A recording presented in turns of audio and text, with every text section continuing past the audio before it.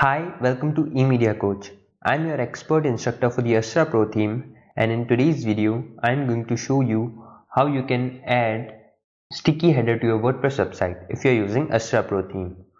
For the people who don't have an access to Astra Pro theme and are using Astra's free version then they can go to emediacoach.com slash Astra and then you'll be redirected to the Astra's official website from where you can buy the Astra Pro theme so let's go to our website on which we are going to perform. So this is our website in which I'm going to show you how you can add sticky headers. So as you can see we don't have any sticky headers right now. Sticky headers mean that this section you see here will be stuck to the top even if I scroll down in both mobile as well as computer screen. So let's go to our dashboard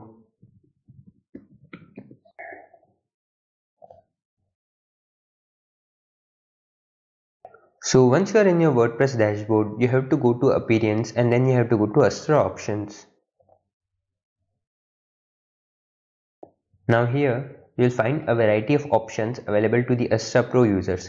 These modules are available only to the Astra Pro users and you are and if you can't find them or if you can't activate them that means that you are using free versions of the Astra theme so you need to buy the Pro theme by going to emediacoach.com slash Astra so as you can see that this section here sticky header this is what we are going to learn about in this video. And before I activate this let me show you what difference it is going to make. So let's go to appearance and then go to customize. Now let's go to layout and then go to header. So as you can see that we have a variety of options available here but we don't have any option to make these headers sticky on your WordPress website. So in order to do that, just go to Astra options in appearance and then go to header sections and then go to sticky header and then click on activate. So once sticky header is activated, let's go to customize and then refresh it.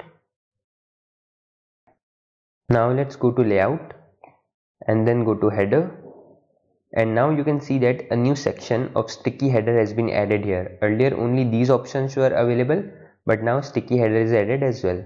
So let's go to that. And now you can find a variety of options in it. So i'm going to tell you the use of each one of them.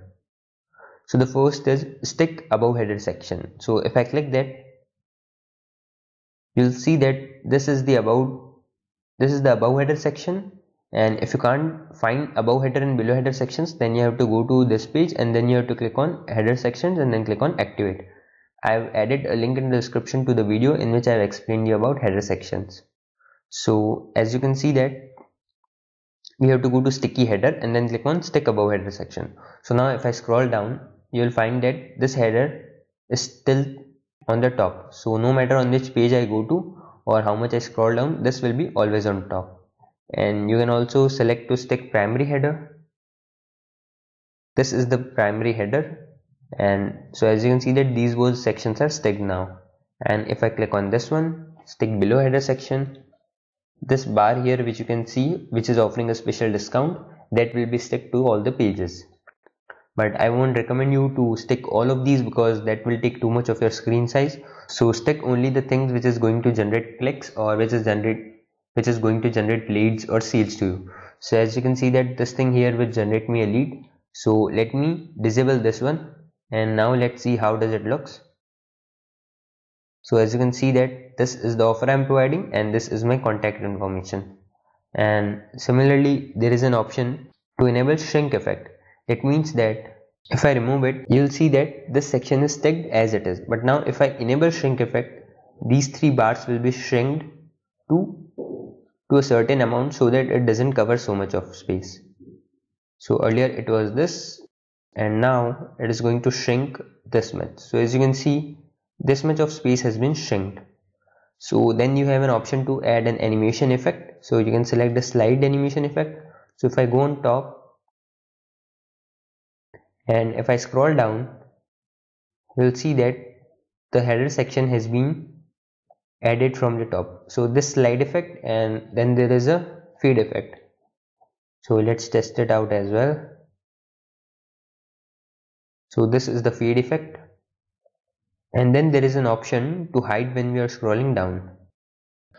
So the use of this option is that when I'm going down I won't be seeing any sticky header but if I'm going up I'll be seeing the sticky header. So this is the use of this feature and then there is an option to enable it on desktop or mobile or both of the devices.